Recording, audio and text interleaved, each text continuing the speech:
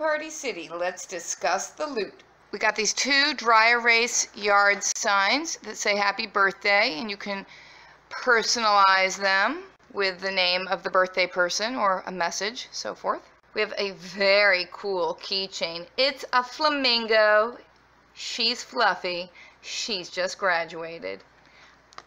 I think because it's a keychain, the graduate should hang this from the graduation cap instead of the tassel. That's what I would do. Two metal princess purses. They're both missing the handles, but they still are fun little boxes for the girls to keep their little treasures in. Brown plastic bowls, paper plates square, paper plates round, plastic plates, prom night, round. This is a little sign, make mistakes, take chances, live life. Hell yeah! Paper napkins, paper napkins, paper napkins. More paper napkins behind all of the cups. Two Minnie Mouse Daisy Duck glow-in-the-dark foam sticks. Several plastic tablecloths for birthday parties a whole mess of party invitations and thank you notes. This Halloween decoration, which says beware. Hot pink organza gift pouches. Cute little animal birthday candles, plus one big random purple taper candle. Seven pouches of Princess Rapunzel confetti. Some brown plastic spoons. This is an announcement kit. It has invitations, envelopes, reply cards, and reply envelopes. Here's another stationery invitation type kit. It's got the fancy flowers.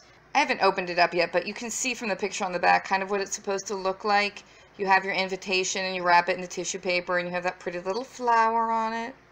Some pens and crayons. Some balloons for turning 50. On my next birthday, I'll be 55 and I'll be using these balloons. Some stickers for personalizing balloons, and the ribbon for helium balloons. Five packages of these balloons which match this plastic tablecloth, these cups, and those napkins.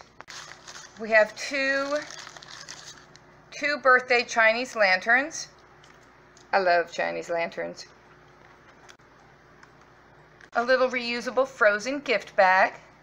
A sponge with shower scrubby that looks like an ice cream cone. We have this little zippered change purse. Now watch when we shut his mouth. Hmm, not so cheeky anymore, eh? A little water pistol. Two pairs of white gloves. One pair is wrist length and the other is the full long arm length glove. Hippie chick peace bracelet, and yes, I'm going to wear that. From the dark side, we've got the pointy vampire nails and the skull necklace.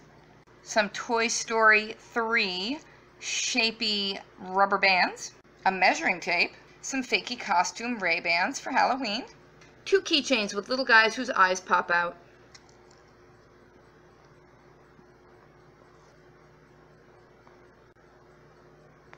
Never really been a fan of things whose eyes pop out. There's a festive little New Year's hat. It says cheers on it. I'll model that for you in a minute. A little black and white mini skirt and two pairs of shorts. And my favorite of all items, the punchy balloon.